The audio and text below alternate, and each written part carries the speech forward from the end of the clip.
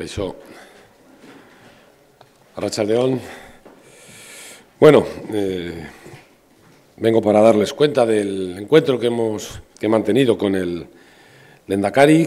Sé que se suele decir siempre, pero es verdad, ha sido un encuentro cordial y franco, en el que hemos seguido de alguna manera el guion que el propio Lendakari está siguiendo en estas conversaciones institucionales y con los partidos que, como saben, son, se estructura en torno a tres bloques, ¿no? El bloque de la situación económica y todo lo que tiene que ver con la economía, el de paz y convivencia y el otro de autogobierno, entramado institucional del, del País Vasco. ¿no? En economía hemos hablado de los presupuestos, hemos hablado de la reforma fiscal y de la necesidad de poner en marcha planes para la reactivación económica y para la generación de empleo. Ustedes conocen bien la posición del Partido Socialista en estos asuntos porque es la misma posición que mantuvimos en el Gobierno, que, que aparecía en nuestro programa electoral y, por lo tanto, en nuestro compromiso con la sociedad vasca y que venimos también repitiendo estos días, ¿no? Eh, una situación económica que ha empeorado en estos últimos meses, eh, ha empeorado las cifras de desempleo, las previsiones de crecimiento para 2013 son incluso hoy peores que hace tres meses y yo creo que este tiempo lo que requiere es un gran acuerdo de, de país y un gobierno fuerte para liderar Euskadi. ¿no? Saben que yo he dicho que llevamos unos meses de inactividad y de vacío en la labor del Gobierno y siempre he manifestado que el Partido Socialista está dispuesto a arrimar el hombro, pero sobre propuestas y medidas concretas que todavía a fecha de hoy no, no conocemos. ¿no? Eh, nuestras propuestas en el bloque económico, que creo que tiene que ser global, pasan por una reforma fiscal en profundidad, y cuanto más tiempo tardemos eh, será más complicado y perderemos más recursos para hacer frente a la situación económica de este país y a la necesidad de, sostener el estado del bienestar y los servicios públicos que son básicos para garantizar la seguridad vital de la ciudadanía vasca. De hecho, en este sentido, este mismo viernes vamos a tener un pleno monográfico sobre el, eh, para debatir esta reforma fiscal. Eh, ustedes saben que el Endacari eh, descansa esta reforma fiscal sobre las diputaciones y que el Partido Socialista es partidario de que la reforma fiscal nazca del propio Parlamento vasco porque creemos que tiene competencias y atribuciones para llevarlo a la práctica, ¿no? y así es la mejor manera de armonizar la fiscalidad en este país y de igualar las aportaciones de los ciudadanos y ciudadanas de este país. Eh, esta es una cuestión previa, porque esto también incide en los propios presupuestos, en los recursos eh, que tiene un gobierno para hacer las políticas que necesita Euskadi.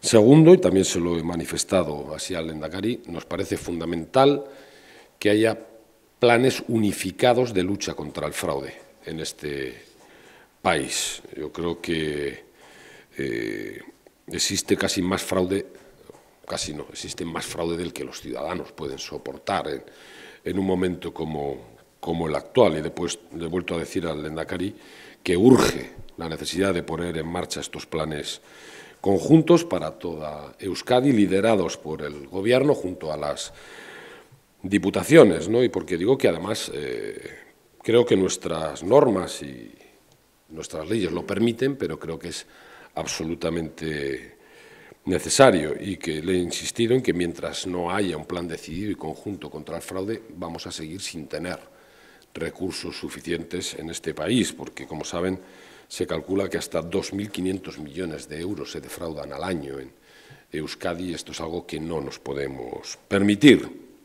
Y en cuanto a los Presupuestos, lo que le he manifestado es lo que vengo diciendo estos días. No hay posibilidad de hablar, ni de negociar, ni de pactar cuando no se conocen por dónde van a ir estos presupuestos, que anuncian un recorte de 1.200 millones, pero no sabemos de dónde pretenden recortar estos 1.200 millones. Y el Partido Socialista tiene unas, eh, lo que hemos llamado unas líneas rojas claras y marcadas por las que no estamos dispuestos a transigir, y tiene que ver con el sostenimiento de los servicios públicos, con el sostenimiento de las prestaciones sociales, de los derechos de ciudadanía, tiene que ver con esa red de solidaridad que se teje a través de las políticas sociales y tiene que ver también con la necesidad de presupuestos que no obedezcan la regla exclusiva de la austeridad expansiva, sino que sean presupuestos que sirvan para el crecimiento económico, para ayudar a nuestra economía productiva, a nuestro tejido empresarial y que sean presupuestos que sirvan para crear empleo en este país. Por lo tanto, eh, las prioridades del Partido Socialista, y así se las he manifestado al Endacari, son que haya un acuerdo serio para la reactivación económica y la creación de empleo, que se mantengan los servicios y las prestaciones públicas y que se garanticen los servicios sociales, especialmente lo que tiene que ver con la renta de garantía de ingreso, las prestaciones por dependencia, aunque correspondan a las diputaciones, forman parte también de los pilares de nuestro estado del bienestar y de nuestras políticas sociales. Y para nosotros eh, son cuestiones básicas para cualquier eh, avance. Y le he dicho a Lendakari, como saben, porque lo he venido repitiendo estos días, que el Partido Socialista en este sentido no va a dar un cheque en blanco a nadie, y menos eh, un cheque en blanco que sirva exclusivamente para, para salvar la cara a un gobierno, sino que en todo caso lo que estamos dispuestos es arrimar al hombro, el hombro para ayudar al, al país. En cuanto al asunto de, paz y de convivencia, eh, bueno, el Partido Socialista aquí también lo tiene claro, son tres los ejes que hemos defendido y que seguimos defendiendo, que son memoria, justicia y democracia.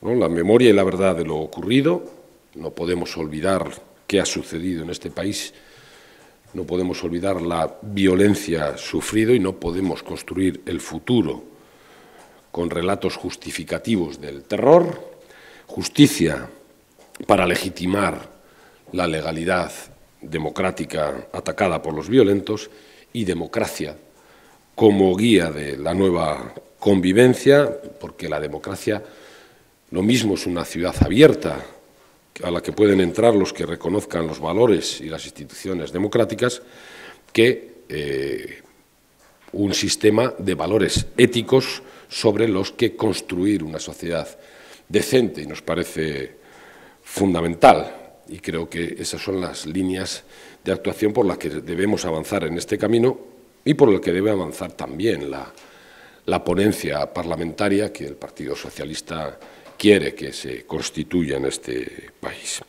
Y en el tercer apartado, como ven, voy muy rápido en las cosas que hemos hablado. Eh, bueno, pues autogobierno, y hemos planteado la necesidad de modernizar el entramado institucional de Euskadi, evitar derroches y solapamientos eh, y, por lo tanto, modernizar el país, hacerlo más eh, racional y que para esto seguramente hay que hablar de una ley municipal a la que el Partido Nacionalista Vasco y el Gobierno se opuso hace escasamente una semana en el Parlamento, pero creemos que es absolutamente imprescindible. Y habrá que hablar también de aquellas cuestiones que, nos permitan tener ese entramado más racional que puedan llegar a modificar la ley de territorios históricos y no pasa absolutamente nada porque se tenga que modificar esta, esta ley, lo mismo que debemos de seguir avanzando en la reducción del entramado de empresas públicas de, este país, para lo que se necesita también muchas veces el concurso de las otras instituciones, por ejemplo, de las diputaciones, porque hay empresas que dependen 100% eh, del Gobierno, pero hay otras que son participadas en las que eh, se está en colaboración con, con las propias diputaciones forales y creo que es momento de avanzar en esa dirección y parece que el Endacari también lo tiene en su agenda. Pero hablar de autogobierno también es hablar de la defensa de, nuestras competencias y nos parece que en este momento el Gobierno vasco debiera de ser más beligerante con algunas de las cuestiones que está poniendo encima de la mesa el propio Gobierno de España. Por ejemplo, al Partido Socialista le parece que hay que recurrir la ley BER porque no solo es una, un retroceso eh, en lo que ha sido la, la educación en este país, es una contrarreforma, sino que además invade nuestras competencias.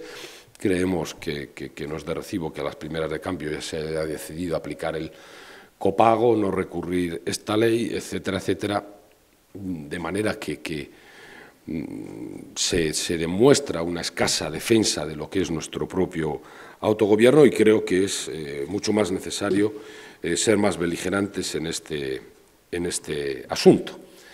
Bueno, en definitiva creo que este Gobierno tiene que empezar ya a tomar decisiones, no solo a hacer nombramientos y hacer ceses, y creo que tiene que empezar a actuar ante, como el propio Lendakari dijo, una situación de emergencia nacional, hay que adoptar medidas, la ciudadanía necesita respuestas, necesita saber qué es lo que va a hacer su Gobierno para intentar eh, hacer frente a la situación y a la crisis, y además le he propuesto que haya diferentes grupos de trabajo que vayan trabajando en la dirección de estos bloques que hemos tratado para ver si es posible o no avanzar en, acuerdos en este, en este país. Bueno, esto es muy en resumen lo que hemos estado tratando en esta reunión, que como digo ha sido cordial, ha sido franca y que por lo menos ha puesto encima de la mesa las posiciones de cada uno en, las cuestiones que creo que más interesan a, a Euskadi y a la sociedad vasca.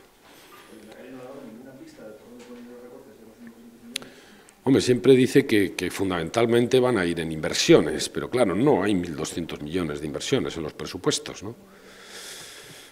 Él, no solo ahora, sino también en la campaña y en la investidura, dijo que tenía unas líneas rojas en los grandes servicios de este país, en educación, en sanidad, en las prestaciones sociales, pero claro, 1.200 millones de recortes sin tocar las grandes políticas de este país, sanidad o educación o prestaciones sociales, no es muy posible. Por eso lo que estamos es a la espera de, ver por dónde va a ir ese presupuesto para poder empezar a hablar. Sé que los medios de comunicación siempre preguntan a los partidos de la oposición si estamos dispuestos a acordar, o que no podemos decir nada si no los conocemos.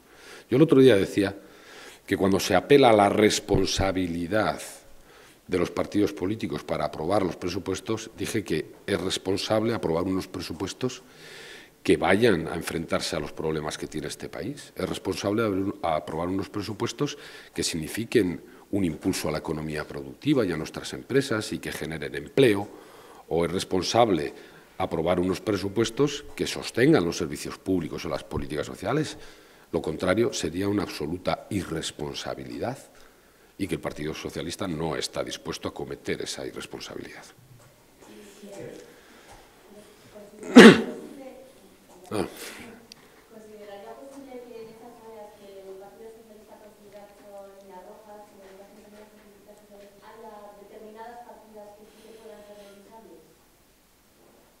Ya, pero es que no lo tengo que decir yo. Lo tendrá que decir el Gobierno qué es lo que plantea, ¿no? para hacer una valoración de efectivamente si hay gastos que se pueden eh, revisar o que se pueden posponer o que se pueden dilatar más en el tiempo, u otros que no, otros que suponen un ataque a lo que son las bases profundas del sistema educativo o del sistema sanitario, pero claro, es que no, no quiero hablar en el vacío sin saber por dónde van a ir esas minoraciones o esos recortes en los presupuestos, porque sería hacer un ejercicio de, de política ficción que no nos llevaría a ninguna parte, ¿no?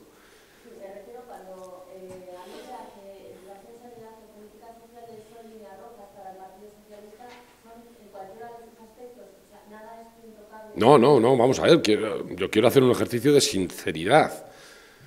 El gobierno socialista también redujo los presupuestos de educación, pero mantuvo todas las prestaciones, mantuvo la coherencia del sistema educativo y además impulsó reformas en el sistema educativo con la introducción del trilingüismo, de la escuela 2.0. No, no, no, no estoy hablando de, decir como baje un 1% el presupuesto de educación ya no hay acuerdo. No, oiga, lo que estoy diciendo es que lo fundamental, siempre, pero más en tiempos de crisis, es mantener un sistema educativo, un sistema sanitario, un sistema de prestaciones sociales que garanticen la igualdad de la ciudadanía, que garanticen la sostenibilidad de esos servicios y que garanticen el futuro de lo que queremos en este país.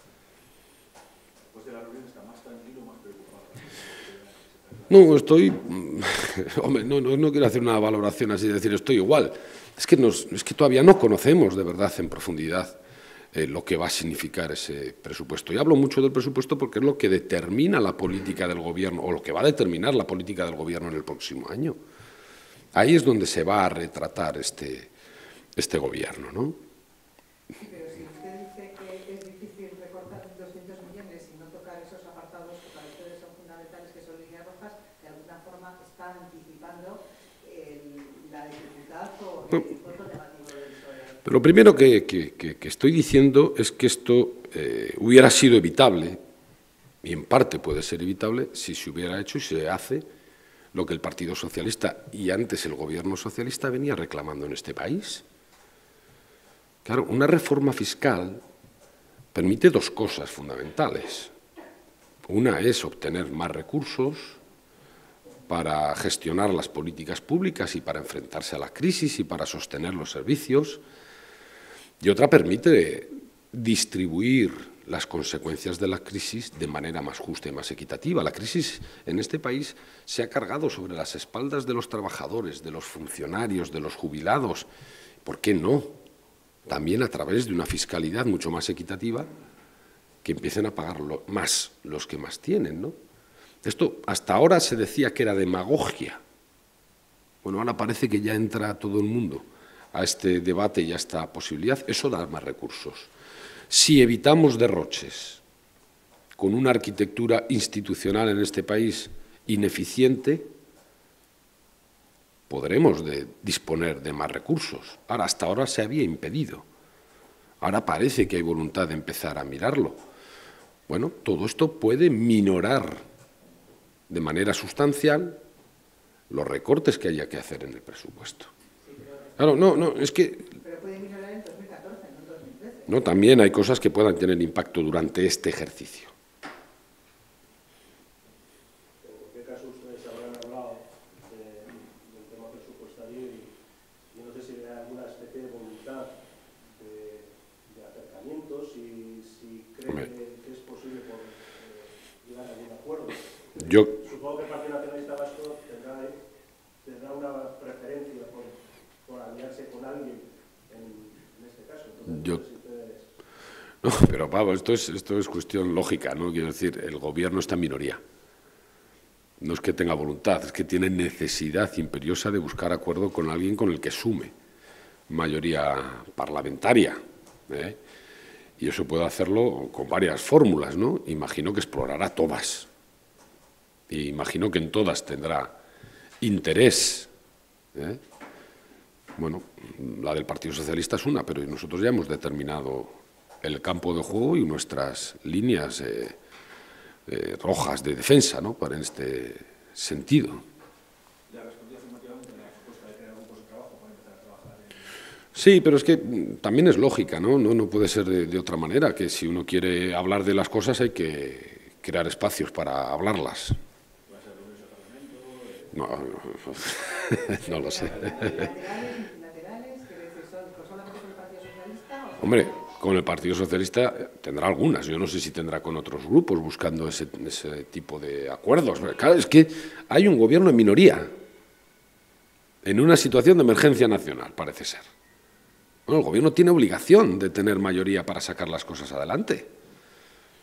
Y estas cosas se hacen en reuniones de trabajo, ¿no?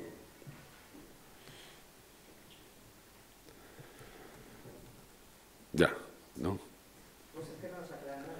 No, es que es lo que, es lo que hay. Claro, es que es lo que hay. O otras conversaciones han venido, otros ya han aclarado por dónde van a ir los presupuestos y por dónde van a ir las cosas.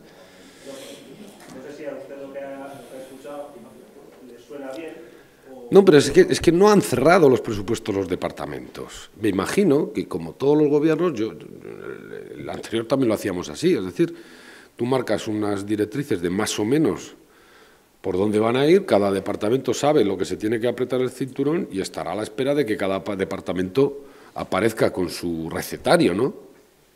Claro, es que es muy difícil cerrar posiciones cuando todavía las cosas están así. ¿eh? Ya sé que les gustaría tener ya todas las respuestas y todas las cuestiones encima de la mesa, pero es que no están.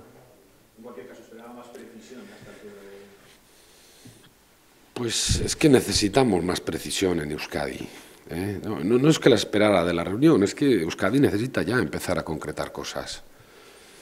Lo digo, si, si la situación es de emergencia nacional y llevamos dos meses de gobierno en la que no se adoptan decisiones que tienen que ver con lo, con lo fundamental, pues, pues está el país a la espera de precisiones, de concreciones y de medidas. ¿no?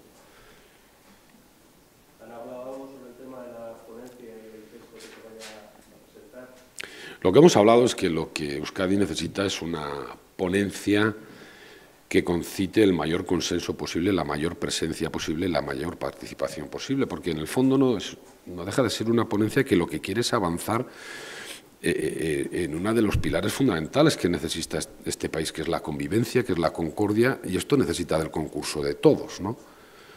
Eh, y más allá de cómo pueda empezar esta ponencia, lo que queremos es que su discurrir sea con el concurso de todos los grupos parlamentarios para que, para que pueda llevar a, mejor puerto. ¿no?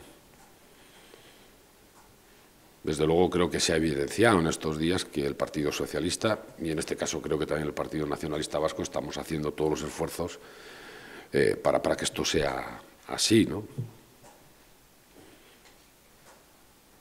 Vale. Bueno, es que requesco.